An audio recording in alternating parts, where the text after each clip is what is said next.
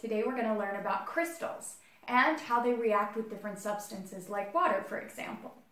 From your home, you're going to need some sugar and some salt and separate them out into separate bags because we don't want to accidentally mix some of the chemicals we're using today with the salt and the sugar that your family uses.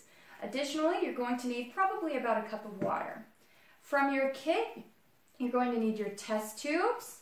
You can use a beaker one of your measuring mixing yellow spoons like this. You can use a pipette if you want, and you're going to need your three Petri dishes. I've put mine here um, on a paper plate just to make things a little bit easier for me to see. Okay, so what we're going to do right now is we're going to see how different types of crystals react with water and the different reactions that occur. So first we need to do is we need to measure 15 milliliters of water into each of our Petri dishes. And we can do that using our test tubes.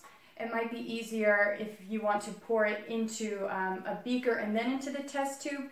The beaker only measures out to 50 and 100 milliliters. It's not enough to get to the smaller amounts, so the test tubes help us measure to exactly the smaller amounts.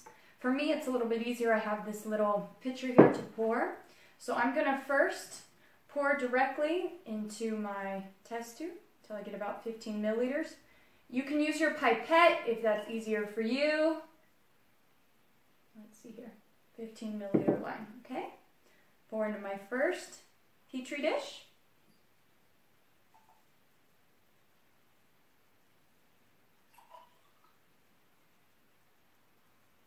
Okay. Petri dish number two. And bit extra. Yeah, Petri dish number three. Okay, I'm gonna set that aside, set my water aside. Now I'm gonna take my spoon and first I'm going to start with my sugar. And I'm just going to take, I'll start with one or two scoops and I want to mix it in to my water solution until it dissolves, which means you cannot see it anymore. So I'll take, here's one scoop. And then I'll do a smaller second scoop. And I'm going to use the back end of my mixing spoon and just mix it until I cannot see my crystals anymore. Okay, and you can Wipe off the end if you want. Now the second, I'm going to do myself and repeat the same thing with another Petri dish. And you can label these if you want. You can label your bags if it's hard to tell them apart. Just make sure you do not confuse the urea crystals that come in your kit with salt or sugar because if you accidentally ingest or eat them, that can be dangerous. So my salt, eh, one. I'm going to do about a scoop and a half for each of these. That's what's been working well. I'm gonna mix them up until it's nice and dissolved. And make sure your water comes from the same source so that they're all the same temperature. For example, fill them all up water from the same pitcher, from the same tap. Okay, and now my urea crystals. And you want to be careful with these. You have the option, you can use gloves if you want. Make sure that it, they do not accidentally get rubbed into your eyes or your nasal passages or your mouth, okay? So I'm going to do about a scoop or and a half. Whoop.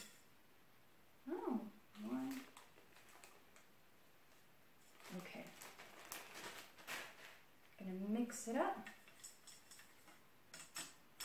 break up a little clump here.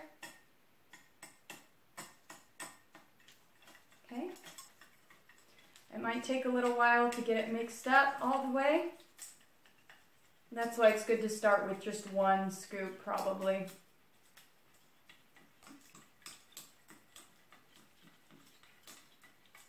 Okay, they're dissolving nicely.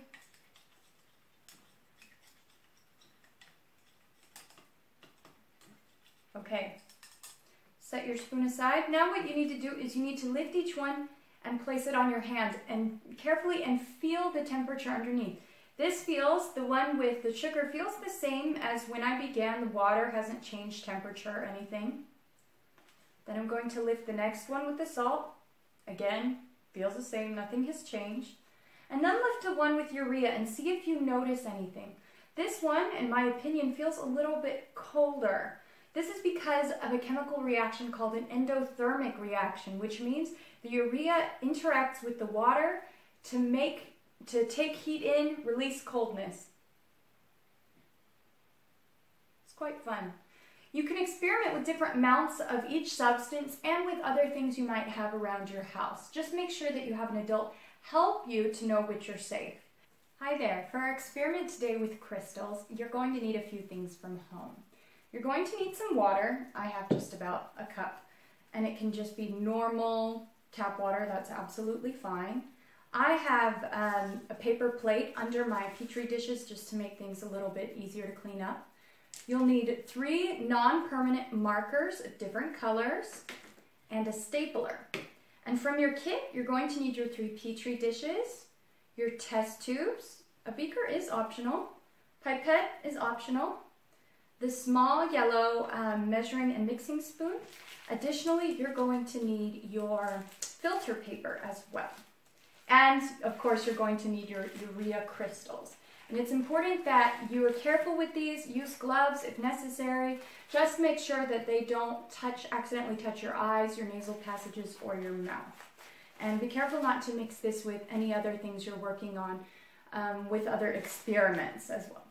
Okay, so I've already prepared um, the start of this experiment. We're going to learn a little bit about how crystals form naturally. And I have already put into each Petri dish 15 milliliters of water using um, a test tube. Uh, you can pour from the beaker into the test tube. The test tube is measured in smaller increments, which make sure that you get exactly 15 milliliters of water. You can use your pipette to put the water in the test tube. And additionally, I have used my yellow measuring spoon to put about a scoop and a half of the urea crystals in each, and I've mixed them up until they are dissolved, until you can't see them anymore. Now, for the next part, I'm going to open my filter paper, and I'm going to take three sheets, three of these little discs. I'll put the rest away so that I can use them for other experiments so they don't accidentally get wet or something.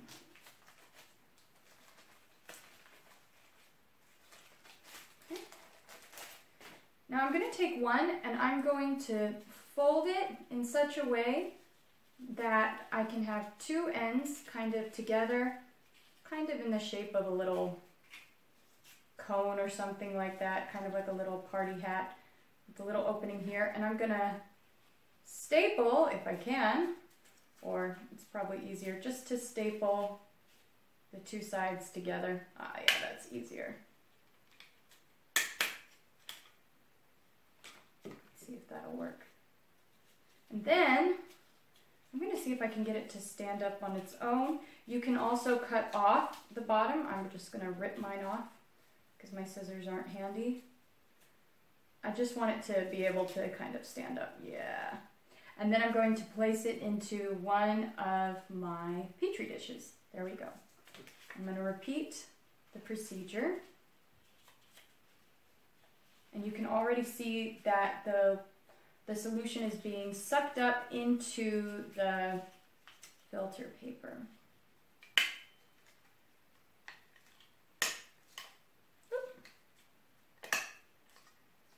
If I can get my stapler to cooperate.